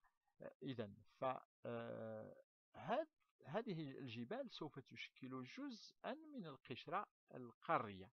والقشرة القارية بطبيعة الحال أساسها أي أسفلها جزءها الأسفل هو عبارة عن ماغما أي صهارة متصلبة متصلبة نتيجة لتصلب تدريجي بطيء نتيجة لحركة الرفع أي نتيجة لابتعادها عن العمق حيث توجد الصخور في وضع سائل. إذا فقبل آه، تفسير ذلك آه، إذا آه، نعود إلى هذه اللوحات كلها وقد فسرناها. إذا الآن هناك تساؤلات حول هذه الحركية. ما هو الدافع؟ ما هو المحرك لحركية الصفائح أي هناك أخدود في قمة الظهر المحيطي مثل ما هو الشأن في وسط آه، قعر المحيط الأطلنطي مثلا. وهناك هوات محيطية أي أماكن تتباعد فيها القارات أو الصفائح أماكن تتقارب فيها. إذا هناك نظرية آه، تفسر هذا وهي أن الغلاف آه، الصخري الساخن أي الصخري السائل أي الماغما بطبيعة الحال هناك تدرج في الحرارة أي أن الحرارة في الأسفل أقوى من الحرارة في الأعلى وهذه الحرارة الموجودة في الأسفل ترتفع عندما ترتفع تدفع يمينا ويسارا وقد آه، يحدث شق في هذه القشرة لتنبعث آه، بعض الصخور البركانية وهنا إذا تتحرك هذه القارات بموجب هذه الحركة الحركة ديال الماغما أي ديال الصهارة ولكن ينبغي أن لا نتصور أن هذه الحركة يومية. ماشي زعما أنها حركة كتحرك بحال آه، كما يحدث بالنسبة في الغلاف الجوي ديال الكتل الهوائية. لا أبدا. فهذه حركة بطيئة جدا. بطيئة جدا ومن شأنها أن تحرك معها آه، هذه الكتل التي تجسد صفائح القشرة الأرضية وليس ماشي معناه أن هذه الصهارة تنزلق تحت هذه الكتل كما كان يعتقد لماذا؟ لأن لو كان الأمر كذلك الانزلاق بقيت هذه الكتل ثابتة. إذا ماشي قضية علي لا لا داعي إلى المزيد من التفصيل في هذا إذا فقلنا بأن في هذه اللوحة نستعيدها إذا لتلخيص ما سبق.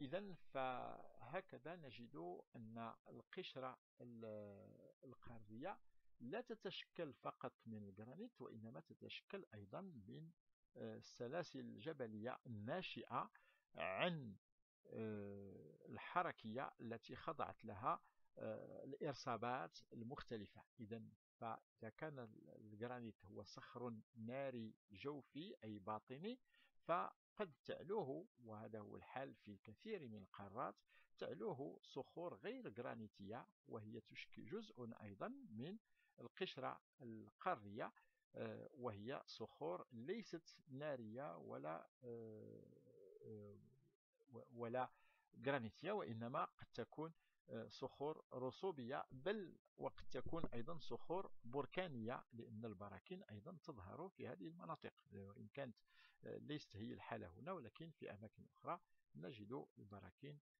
بطبيعة الحال تظهر في هذه في مثل هذه الأماكن وتشكل تصبح جزءا من القشرة القارية. وهذا ما سنراه في بعض الأشكال. وقبل ذلك نعود إلى تقسيمات الجيولوجيا أي التاريخ الجيولوجي للكرة الأرضية فهذا التاريخ الجيولوجي إذا آه، هو الذي آه، آه، نضبطه بسلم الأزمنة الجيولوجية. هذا السلم ديال السنوات ديال آلاف السنين 4000 معناها 4 4 المليار أي ملايين السنين 4 المليار و 550 مليون سنة.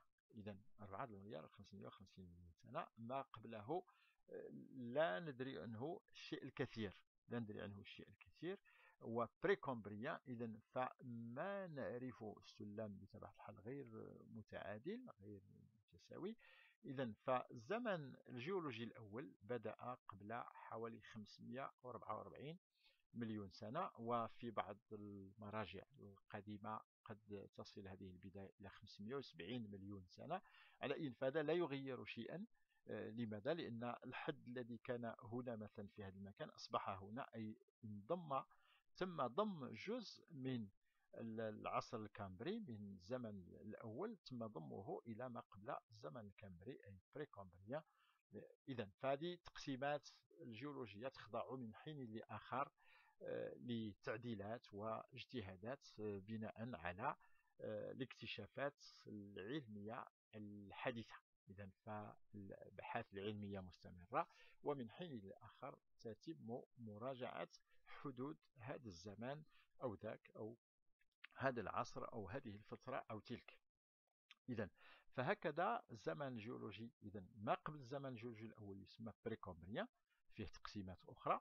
بينما الزمن الجيولوجي الأول يسمى Paléozoïque الزمن الجيولوجي الثاني Mésozoïque وهناك الزمن الثالث والرابع اللذان يضمهما آه، زمن يسمى Cénozoïque Cénozoïque يضم في الحقيقة الزمن الثالث والزمن الرابع. وبالنسبة لكل آه، جزء لكل عصر مثلا هذه الأنظمة فهذه العصور فكل عصر ينقسم بدوره إلى فترات وكل فترة تنقسم إلى حقب وهكذا أو حقب فترات. إذا فالزمن آه، الثالث مثلا فيه النيوجين والنيوجين نجد فيه Paléocène Éocène Oligocène. ثم آه، النيوجين الجزء آه، في الحقيقة النيوجين ماشي جزء الزمن الرابع ليس جزء من النيوجين النيوجين هو الجزء العلوي من الزمن الثالث. بينما Quaternaire أي الزمن الرابع مستقل تماما عن النيوجين فنجد أن البليوسين هو النهاية ديال الزمن الثالث الحقيقة يوجد بينما Pléistocène هو الجزء الأسفل من آه، الزمن الرابع بينما الهولوسين هو الجزء الأعلى. وهنا نجد آه، الحد الفاصل بينهما 1.65 أي مليون و650 ألف سنة هي بداية الزمن الرابع ولكن في آه، الواقع الواقع ليس هذا لأن هناك تقسيمات حديثة لا, داخل لا داعي للدخول في تفاصيلها. أن الزمن الرابع هنا آه، في هذا السلم آه، يصل إلى مليوني سنة بينما تقسيمات الأحداث فالزمن الرابع يبدأ قبل ذلك بكثير أي أصبحت بداية الزمن الجيولوجي الرابع هي زوج فاصلة ستمية آه، زوج المليون وستمية ألف سنة أو بالضبط زوج المليون وخمسمية وثمانين ألف سنة هي بداية الزمن الرابع وهذا آه، بطبيعة الحال آه، تحديث أو تعديل تم منذ حوالي تقريبا 13 سنة تقريبا أو حول ما يقرب من عقد ونصف من الزمن آه، الذي حدث فيه هذا التعديل بناء على اكتشافات جديدة. إذا ما يهمنا من هذا كله, كل كله هو تسلسل الأحداث عبر التاريخ الجيولوجي. مثلا 65 مليون سنة هو نهاية العصر الكريتاسي عصر الكريتاسي انتهى وهو نهاية آه، عصر آه، الديناصورات. الديناصورات آخر ديناصور عاش قبل 65 مليون سنة. إذن هذه فترة ديال الانقراض ديال الدناصير أو الديناصورات ليبدأ ما يسمى بالزمن الثالث. هنا عاوتاني كنلقاو سينوزويك هو الترسير وحده بوحدو ما معاهش الكواترنير. وهنا باليوجين نيوجين نيوجين أيضا فهو جزء من الزمن الثالث وليس آه والزمن الرابع ليس جزءا منه. إذا تلاحظون هذا التضارب فقط لأن آه، فقط لتبيان أن الأمور تتغير وتتطور مع الزمن. وهذا آه، في هذا الشكل نرصد الموقع الذي مرت منه شبه الجزيرة الهندية شبه أو شبه القارة الهندية. إذا كانت في هذا المكان آه، منذ 71 مليون سنة ثم بعد ذلك في هذه الفترة كانت وصلت لهنا ثم هذه فقط 10 مليون سنة كانت مازال بعيدة شوية على آسيا أو أن كانت في البداية ولكن مازال يعني الاصطدام كان يعني في واحد المراحل ديالو الأولى. إذا ولا زالت مستمرة لا زال هذا الاصطدام ولا زال هذا التقارب آه، مستمرا إلى يومنا هذا. إذا ثم نرصد أننا في آه، مرحلة انتهاضية آه، تسمى المرحلة الألبية فالمرحلة الألبية عموما فيها أيضا أجزاء. إذا هذا متوسط هذا متأخر. إذا سلسلة جبال الريف نشأت خلال الزمن الثالث. إذا هنايا أهم يعني مرحلة آه، نشطت فيها الألبان تارديف. إذا هنا ظهور ديال البحر الأحمر آه، لم يكن موجودا ظهر في هذه الفترة. آه، ثم ظهور أشباه الإنسان هنا. إذا ثم بداية ظهور العصور الجليدية ثم الإنسان العاقل Homo sapiens ظهر في الزمان الرابع وهكذا. هذا التسلسل. إذا لا داعي إلى التفاصيل ولا إلى التدقيق وإنما لكي نعرف فقط أن أنه عبر الزمن الجيولوجي حدثت الكثير من الأشياء إما على مستوى القشرة الأرضية إما على مستوى الحياة وظهور الأشكال التضاريسية الكبرى على سطح الأرض بل والتغيرات المناخية أيضا التغيرات ليست التغيرات التي يتحدث عنها حاليا وإنما التغيرات الطبيعية الكبرى التي نقلت مناخ الأرض من مناخ جليدي في المناطق الشمالية والجنوبية أي بعيدا عن المناطق الاستوائية والمدارية من عصر جليدي إلى عصر بيجليدي عدة مرات أي حدث تعقب أو آه، تعقب بين أو تتابع لهذين الصنفين من المناخات آه، عدة مرات خلال الزمان الجيولوجي الرابع بل مع نهاية الزمان آه، الثالث. إذا فإذا أخذنا 800 ألف سنة الأخيرة مثلا لتاريخ القشرة الأرضية سنلاحظ أن المناخ تذبذب خلال هذه 800 ألف سنة تارة نحو البرودة وتارة نحو آه، السخونة. إذا هنا باللون الأحمر يمينا أي آه، نزعة نحو احترار المناخ ويسارا بالأزرق نزعة نحو آه، تبريد المناخ cooler warmer. إذا age, age in thousand years أي الزمن بآلاف السنين 800 ألف سنة. إذا خدينا مثلا نقدروا ناخذوا إحنا غير هاد 400 ألف سنة الأخيرة هنا غادي نلاحظوا بأن 400 ألف سنة هي ولا نقسموها 800 ألف سنة 20 ثم بعدها 400 ألف سنة. وناخذوا مثلا 100 ألف سنة. هذه هذه أقل قليلا من 100 ألف سنة. آه، إذا آه، كان هناك عصر جليدي. عصر جليدي ها هو. انتهى قبل الآن بحوالي 18 ألف سنة. هذه 18 ألف سنة راه كانت المناطق الشمالية مثلا حاليا في أوروبا شمال أوروبا وقارة أمريكا آه، كانت مناطق جليدية أي يغطيها الجليد أي جزء كبير من أوروبا كان يغطيه الجليد بينما تراجع هذا الجليد بحكم احترار المناخ. ونحن الآن في آه، فترة بيجليدية أي نقيضة للفترة الجليدية. وقبلها أيضا كان هناك عصر بيجليدي وقبله عصر جليدي وقبله عصر بيجليدي وعصر جليدي وهكذا. ولكن ما نلمسه هو أن عدم آه، تجانس هذه العصور لا من حيث المدة الزمنية ولا من حيث قوة البرودة أو السخون أي درجة الحرارة آه، فيها تباين.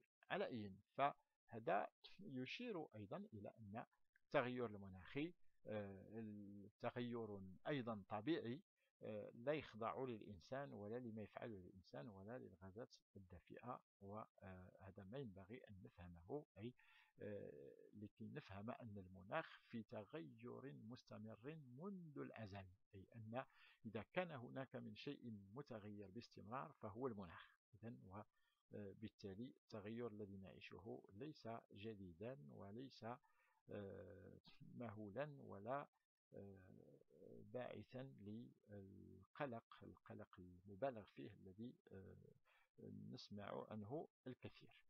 إذا فخلال الفترات الجليدية عندما يغطي الجليد أجزاء كبيرة من القارات بطبيعة الحال فبحكم هذا السمك يؤدي ذلك إلى انخفاض مستوى الكتلة الصخرية أو القشرة الصخرية التي تحمل هذه الجلادة. إذا بطبيعة الحال تنخفض بحكم الثقل لأن الثقل يزيد. بحال مثلا آه، إذا أخذنا مثال القطب الجنوبي القطب الجنوبي هو عبارة عن قارة وليس عن محيط. قارة قطبية جنوبية الأنتاركتيك يغطيها الجليد وسمك الجليد هناك يتجاوز في بعض المواقع 4000 متر إذا 4000 متر. 4 كيلومتر ديال السمك ديال الجليد فهذا بطبيعة الحال ثقل كبير جدا. لكن بموجب إذا هذا الجليد يتراكم تدريجيا كما أنه يتراجع أو يذوب أيضا تدريجيا.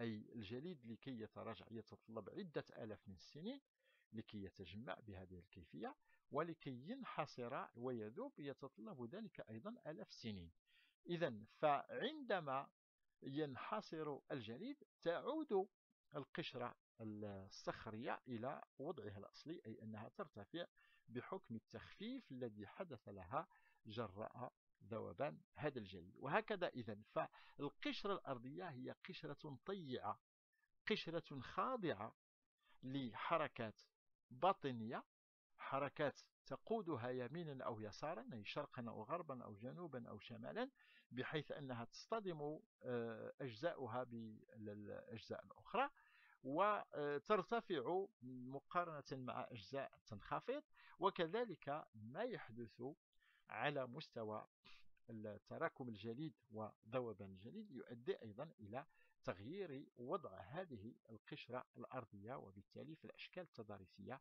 آه، ترتبط بالحركة الباطنية وترتبط بتذبذب المناخ من حيث بين عصور جليدية وبين عصور جليدية إلى جانب ما تحدثه التعرية من إزالة ونقل وإرسال إذا فهذا كله إذا لاحظوا أن التعرية أيضا التعرية التي تزيل هذه الكتلة الجبلية البارزة بطبيعة الحال فلها جزء يغوص يغوص في الأسفل في المادة الصخرية اللزجة بل والمائعة والسائلة. إذا وذلك بحكم سمكها والذي يوفر لها ثقلا كبيرا. ولكن مع مرور الزمان إذا بطبيعة الحال أي خلال مرحلة آه، انتهاضية ومرحلة تعرية إذا يمكن أن يخفف عن هذه الكتل وبالتالي ترتفع تلقائيا بشكل تدريجي بطبيعة الحال لأن هذه الإزالة تتطلب مئات ملايين من السنين. مئات ملايين من السنين من الإزالة بطبيعة الحال سترافقها تلقائيا حركة رفع ستضع هذه الكتلة في مستوى آخر. وبطبيعة الحال هذا الفراغ الذي ستتركه سيملأ سيملأ بحركة آه، قادمة من مكان آخر وهكذا إذا إلى أن تتقلص هناك واحد التقلص كبير جدا هذا التقلص أي هذا الجزء الذي تمت إزالته من أعالي هذه الكتلة البارزة فأين ذهب؟ سيذهب ليشكل ثقلا إرسابيا في أماكن أخرى فيضغط فتنخفض تلك الأماكن بحكم الثقل الذي يصلها من المواد الرسوبية بينما سيرتفع هذا الجزء بحكم التخفيف الذي حدث له في جزئه العلوي. إذا هكذا فالقشرة الأرضية في حركية آه، تطورية مستمرة. إذا فالنتيجة آه، التي يمكن تسجيلها آه، عن عما سبق هي أن القشرة المحيطية على مستوى تركيب القشرة الصخرية إذا هو أن القشرة المحيطية بناء بركاني أي أنها ناتجة عن براكين بطبيعة الحال وتمدد قاع البحر وعدم وصول رواسب كثيرة آه، لماذا؟ بحكم بعدها عن مصدر هذه الرواسب الذي هو القارات آه، بطبيعة الحال ستبقى هذه القشرة القشرة المحيطية ستبقى بركانية أساسا آه، بطبيعة الحال. هاي ستبقى بركانية لأن قلت أن الرواسب القادمة من القارات لن تذهب بعيدا بطبيعة الحال فاحتهد المسافة التي تقطعها فسنجد المواد الخشنة في البداية. ثم أقل خشونة ثم المواد الدقيقة إلى أن نصل إلى أماكن بعيدة عن مصدر هذه الإرصابات وبالتالي ستبقى هذه القشرة المحيطية فقيرة على مستوى الإرصابات التي تصلها فتتمدد وهذا ما يجعل الكتل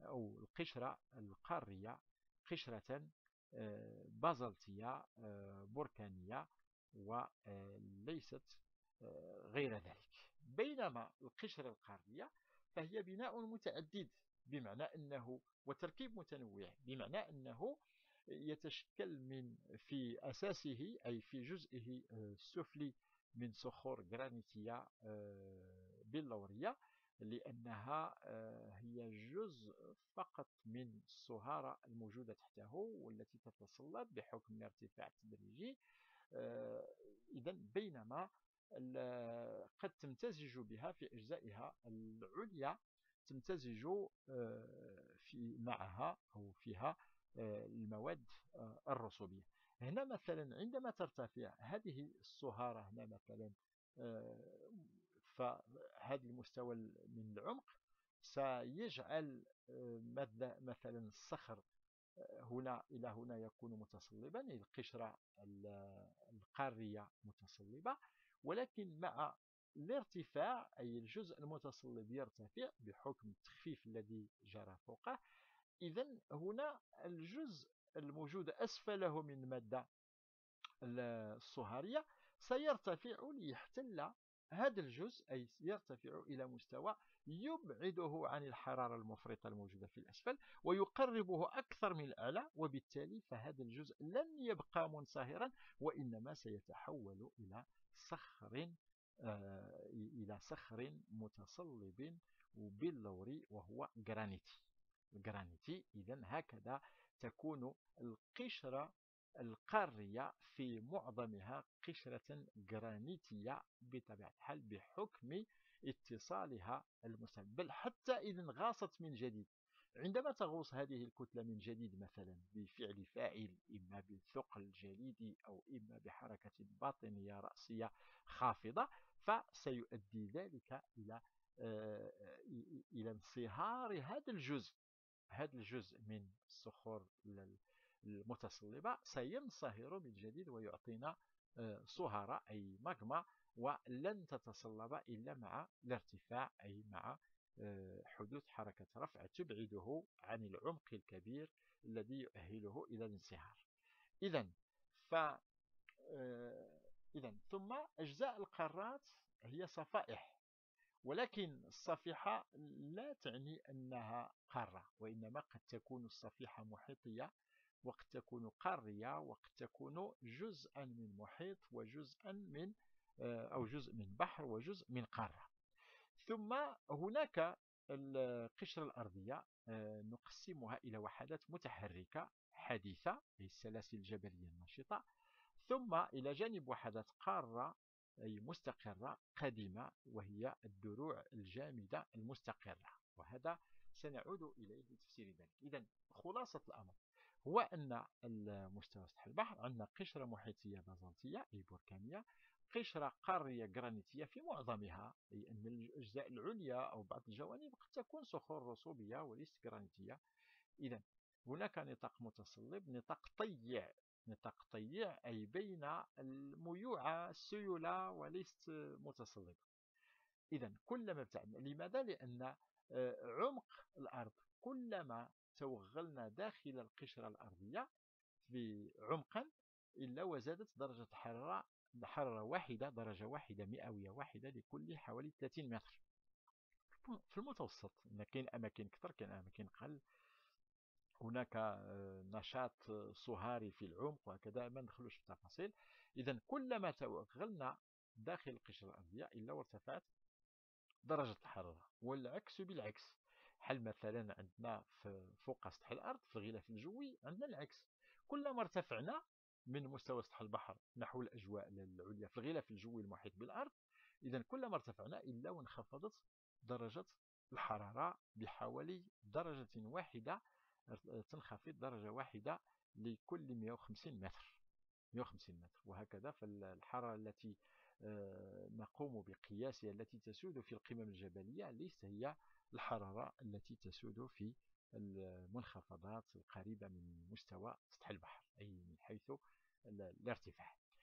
إذا فهذه الخريطة آه، تبين لنا آه، هذا التجزيء الذي ذكرته قبل قليل وهو الوحدات السلاسل الجبلية النشطة والدروع الجامدة المستقرة. إذا فهنا سنجد أن هذه دروع دروع وهذه دروع مغطاة. إذا الدرع هذا غير مغطى أي ما فيهش غطاء رسوبي نشط حاليا. بينما هنا ففي قاعدة السلاسل الجبلية نجد دروعا ثابتة جامدة ولكن الغطاءات الرسوبية التي تغطيها أي التي التي توجد فوقها هي تتعرض لحركات نشطة من التواءات وانكسارات وتكون وتسخر وما إلى ذلك. إذا فهنا ناخذ واحد الجزء من نكبروا واحد الجزء من هنا المنطقة التي تعنيها والتي نعرفها آه، جيدا هي إفريقيا أوروبا آه، ثم الجزء من القارتين الأمريكتين إذا الأمريكيتين إذا فهنا في آه، إفريقيا نجد مثلا بالنسبة لبلدنا المغرب فنجد أن المغرب يقع ضمن ما يسمى بالنطاق المتوسطي. النطاق المتوسطي أي نطاق السلاسل الجبلية النشطة وهي جبال الأطلس وجبال الريف وما بينهما. بينهما من هضاب وسهول. وكل السلاسل هنا جبال الألب وما إليها. إذا هذه كلها سلاسل جبلية نشطة آه، بحيث أنها مشكلة في غطاء رسوبي. وهنا أيضا آه، نجد غطاء رسوبيا ولكن غطاء رسوبي يغطي درعا مستقرا أي قارا ثابتا جامدا لا يخضع للالتواء حاليا ولا لحركية انتهاضية وحركة تكوين سلاسل جبلية أبدا وإنما مغطى فقط. هنا غادي نلقاو بأن معظم الغطاءات الرسوبية هنا تنتمي إلى عصر الكريتاسي أي الجزء الأعلى من الزمن الجيولوجي الثاني. بينما هنا فسنجد آه، الصخور المنتمية من إلى كل عصر ولكنها تتعرض للحركية المستمرة النشطة وهذا ما أدى إلى نشأة سلاسل جبلية في مرحلة قديمة وهي الأطلس الكبير والأطلس المتوسط وفي مرحلة أحدث هي آه، الريف سلسلة جبال الريف وامتداداتها نحو الشرق في الأطلس التلي إذا فهكذا نقسم سطح القشرة الأرضية إلى دروع مكشوفة أي لم تحمل غطاء رسوبي أي أنها مكشوفة منذ الزمن الأول. منذ الزمن الأول وهي مكشوفة أي أن البحر لم يعد إليها البحر من جديد منذ آه، نشأتها أي منذ الزمن الجيولوجي الأول بحيث تعرضت للتحول واخترقتها صهارات أدت إلى تصلبها. بينما هنا آه، تمكنت من أي انخفضت آه، شيئا ما مما سمح للبحر بالعودة ليرصب آه، طبقات ولكن بقيت غير ملتوية فأقصى ما نجد فيها هي بعض الانثناءات المحدودة والليات أو انكسارات أو ميل في اتجاه واحد. بينما هنا أحواض رسوبية حديثة أحواض رسوبية حادثة لا زالت في طور التكوين مثل السلاسل الجبلية وهكذا فليس غريبا أن نجد أن آه، الزلازل التي تحدث في المغرب تحدث في الشمال آه، في سلسلة جبال الريف أساسا لماذا؟ لأنها الأقرب بل هي في قلب منطقة نشطة آه، تتعرض للتكوين في طور التكوين وبينما ما يحدث من زلازل مثل أكادير مثلا أو في الشرق فنظرا لوجود انكسار قوي آه، يحد هذا المجال المتوسطي ويفصله عن المجال الإفريقي وهذا الانكسار الكبير جدا من حين لآخر يتحرك بحكم حركية الصفائح في القارات. بل آه، بعض الزلازل الساحلية أيضا قد تأتينا من المحيط آه، الأطلنطي وإن كانت نواها بعيدة. إذا آه، هكذا آه، ننهي الحلقة الأولى وإلى آه، ننتقل بعد ذلك إلى الحلقة الثانية.